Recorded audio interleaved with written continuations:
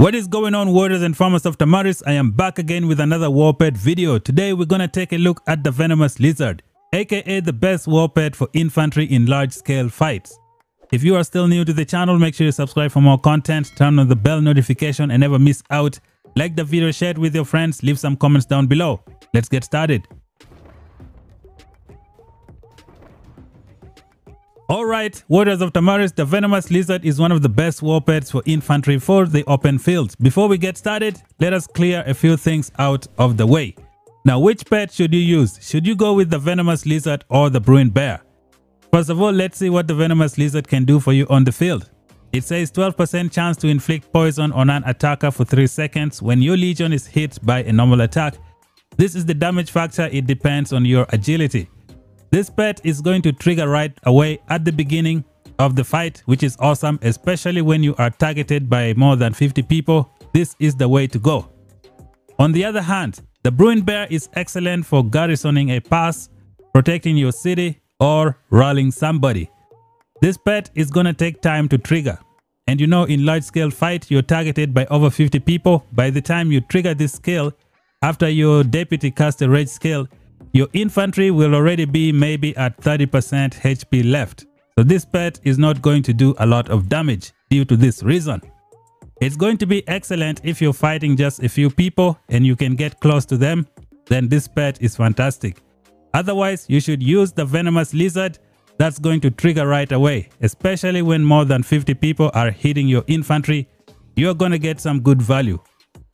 Before we get on to the pet build, let us clear another thing out of the way, which is very, very important. Now, this is something you should consider for the future before you build your venomous lizard. The venomous lizard is one of those pets that has a trigger chance to operate. It has a 12% trigger chance. And then we have the night rock, which has a 30% trigger chance. And we have the snow peak rock that has um, a 30% trigger chance as well. These pets are going to suffer in the future. It is because of this one skill that we have in the game right now. A lot of people are not using it yet, but I'm pretty sure in the future, people are going to start using this pet. Now, what is this pet going to do? This pet skill, what is it going to do? It says 25% chance to inflict pet deficiency on target legion every second. Pet deficiency, war pet skill trigger chance minus 10.25% for 4 seconds. Now, if someone hits you with this skill and you have a snow peak rock, it has a 30% trigger chance. This thing is minus 10%. Your 30% goes all the way to 20% chance to trigger, which is just disgusting. So when we check out the venomous lizard, it has a 12% trigger chance. Let's see what um, an interruption can do with some kind of low attribute. So this one, pet deficiency, war pet skill trigger chance, minus 8.23% for 4 seconds, which is crazy. Your 12% chance is gonna go to, let me see, 4% because of this pet skill. So you need to prepare for the future, which is why when you are building your venomous lizard, you should have one skill slot that you're gonna swap out in the future. Because right now, not a lot of people are using this skill, but I'm pretty sure it's going to be a common thing and your venomous lizard is going to suffer. Now, why do I say you need to save one skill slot that you can change for the future? It is because there is a counter skill for this interruption. We have two in the game. Let's see which ones they are. We have what we call the determined heart right here. So this one has a war pet skill shield effect plus 25.61%. It is going to shield your infection from this vulture right here. This is one of the skills you can put on your pet in the future if this interruption starts becoming a problem. The second one that you can use, another one you can try is known as the Dauntless. War Pet Skill Shield Effect plus 23%. Again, this one is going to protect you from this vulture right here, interruption. So you gotta be careful. There is no need to use both dauntless and what is it, determined heart. You just need to pick one depending on the attributes that you have left. I think the dauntless is the one that's gonna work because Physical pets don't have a lot of intelligent skills, so this is what I would consider putting in the pet for the future. Now with that out of the way, let us see how we can build the venomous lizard to get some good value. Okay, warriors of Tamaris, this is going to be the first build for the venomous lizard. What you see on the screen is what I am using right now. What is good about this pet skill? It has a lot of crit rate to crit the counter attack of the Legion. We know Skogul can do a double counter attack when she does her rage skill. So you're gonna have a few more chances to get some counter attack crit rate. Now the counter attack crit rates are not going to be a lot, which is why I'm considering changing the build for this pet. We also have this skill right here known as Swift Revenge. Crit damage plus 3% when Legion deals physical counter attack damage. So we have a hit back and we have a blood for blood that is triggering some counter attack for the Legion. Now this is one of the ways you can build this pet. To build this pet, there are two skills that you need to have with you at all times. You're gonna need to have the counter strike and the wild counter strike. The counter strike is to be very very good for Goresh because it's going to trigger the Goresh third skill, the one that lets him do extra damage to nearby legions. So this is a must have on your pet. What are other good skills that we have here? We have the forceful infection. Now this is something I'm considering changing. Instead of using just the forceful in infection, I could use a tooth and claw. It is cheap, it does the same thing, but it's even better because the tooth, tooth and claw is going to boost the infection, it's going to boost the wild counter strike as well. Now imagine 50 targets hitting you at the same time you're going to be triggering so many wild counter strikes. And when you have a tooth and claw, you can boost that damage as well. You can boost your infection at the same time. So this is one of the builds that I would use for this pet. Now there is a skill here that you can add as well. The 3 star version for the infection. What is it called? It's called the super infection. You get it at the end of the season. Infection trigger chance plus 4.95%. This is based off of my attribute. So that's going to go here and boost this to maybe 17% trigger chance, which is a good thing. But remember guys, if another vulture hits you with an interruption, minus 8.23%, your 17% trigger chance is going to go to 9% trigger chance. Someone has this, which is why you need to protect yourself with something like a determined heart. Just be on the lookout. In the future, this thing is going to be common. Interruption, it's going to be a common skill pretty soon.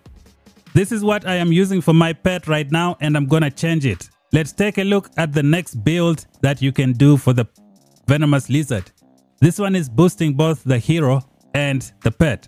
Now what we're to do is we're to boost the pet only, which is what I am to try and do. It's because the crit rates, they don't happen a lot.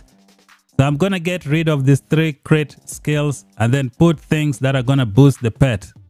Let's see how we're to do that. I'm to be putting a tough counter strike. What does a tough counter strike do? It says 100% chance to gain one stack of tough pet when casting counter strike. Tough pet, war pet skill damage taken minus this amount. Let's see what a 2 star Tough Counter-Strike can do for you. It is 3,700 exchange coins, which you can afford. So any war pet skill that hits you, it's to be reduced by minus 2.57%. Now imagine 50 ranged units hitting you with all those crazy pet skills. You're to be reducing the damage a lot with the tough counter strike. So we're to put a tough counter strike on this pet. We're to buy and learn and put it over here. I'm switching this agility skill to put this tough counter strike. So this is the pet build that I'm to be using in the future. Now the next thing I'm to do is I'm going to add a crit rate for this pet. I'm going to add a crit rate that's going to crit this infection and it's going to crit this wild counter strike as well. I have one right here. I bought it from the merit shop. Angry Roar. If you don't want to use Angry Roar, you can go with this one right here, Blood for Blood. I'm not sure if you're going to have enough room to use both.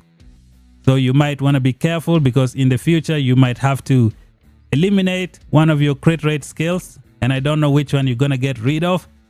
If you happen to buy, let's see, a two star blood roar and then you want to get rid of it in the future, it's gonna be difficult for you to do that. So you need to be careful with the blood roar for now. I would suggest maybe using a one star version because you might end up changing it. And then later on, if you have decided that you're gonna keep this skill 100%, you can then go for the two star version. So right now we're gonna put this Angry Roar, we're gonna replace something. I was saving it for my Syndrion to take the Angry Roar to 2 star, but I think I'm gonna get more value here. So we're gonna learn. We're gonna get rid of this crit, more crit damage because the pet, the, the the Legion don't do a lot of crits. So we're to replace it and put this crit rate for the pet instead. This one is to boost the crit damage for my Legion counter attack. So we're to switch it with this. I hit confirm. The build is now going okay. So this is what I have for the pet. Now the next thing I can put here is, you know, the end of season skill for the pet what is it called? The super infection, unfortunately, I don't have it. I could also put the fatal bite. Fatal bite. I can put fatal bite here, but I don't have it. Now I'm to keep an eye out in the future because of uh, this vulture skill right here, interruption. I'm to need, is it not this one? I'm to need a dauntless for the future. This might go here and replace this skill right here. I'm still deciding whether to get rid of this forceful infection and then put a two star tooth and claw. This tooth and claw is gonna boost wild counter strike and it's gonna boost infection. Now you can have both. You can have both tooth and claw and then this skill at the same time. Just figure out which one of these skills you want to take out. So if you're building your pet you could try something that looks like this. Now I still have this crit rate thing here. It's very low. Even a two star version, I feel like it's very low.